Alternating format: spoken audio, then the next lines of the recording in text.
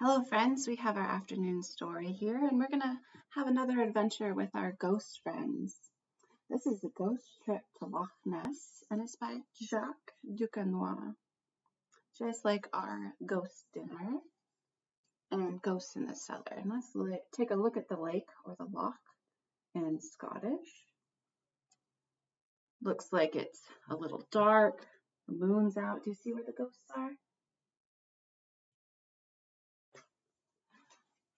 And we have our title page.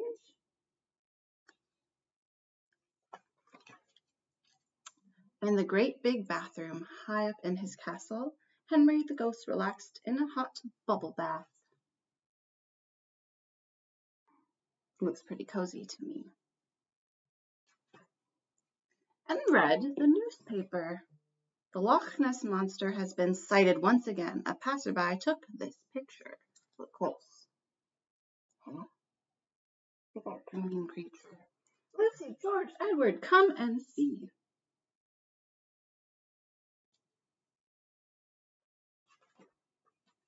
The four friends quickly agreed to travel to Loch Ness the following day to see the monster. They must live very close. They set off in Henry's deluxe convertible. That looks like a fast car and drove straight to the belly of an enormous ferry boat.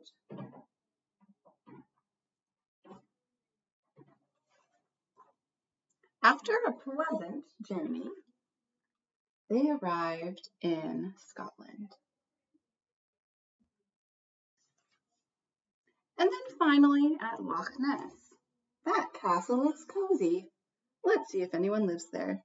Does it look very cozy? It looks a little a little broken and run down. Look, what time of day is it in the story? I don't see the sun, but I do see the moon. Before they could reach the dock, they heard a strange noise. What's that sound? It must be the monster. You think it's the monster already? No, it's Mac Ghost playing his bagpipes. Welcome to my castle. It's so good to see you, Mac Ghost called. And look at who's behind them, two little dogs, two little Scotty dogs. Mac Ghost told them that he had never seen the monster, but that his best friend's cousin once did. He said the monster was green with a long neck, this long, and fins on both sides. That sounded, kind of sounds like a dinosaur to me. The next morning the search began, and nothing. Except for a few fish. Was it just a few fish? Oh, what a splash, Henry cried. Must have been a big one. But was it the fish? The following day they continued their search. Still nothing. Luckily, Henry had brought his fishing rod. There's nothing wrong with a little fishing while you're waiting for a monster to come along.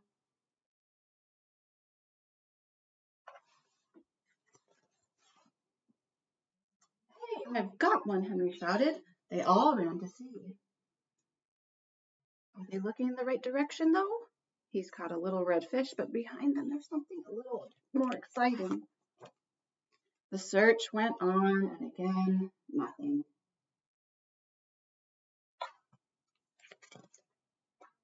That evening, they promised to stay awake all night and wait for the monster. It's not very difficult to stay up all night. I know that I enjoy sleeping. But by the middle of the night, the four explorers were just too tired. They fell asleep. And look who's up while they're sleeping. Hmm. The next day, Henry and his friends felt like taking pictures. The search would begin again tomorrow. Click, click, click, click, click, click, click. And what's happening behind them while the pictures are going? Who's that? That's Nessie, that Loch Ness monster. Their vacation would soon be over. For their last outing, Mac Ghost joined them. A dense fog settled in, and rain began to fall. The wind blew hard. What a beautiful day! cried Mac Ghost.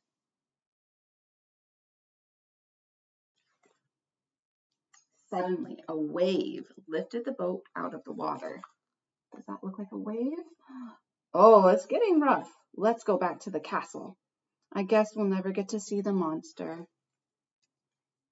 And look whose hat is lost. My ghost lost his hat. Sadly, it was time to leave. Mac Ghost went with them to the ferry port and played a farewell song on his bagpipes. Goodbye, my friends. Don't forget to write, he hollered when his song was over. Goodbye, Mac Ghost. See you later.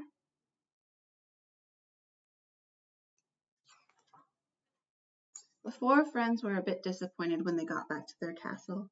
They had only managed to bring back a teeny tiny Loch Ness monster. A teeny tiny red fish.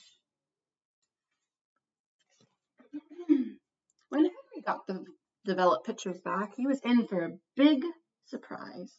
Lucy, George, Edward, come and see. And he's back in his bubble bath, isn't he?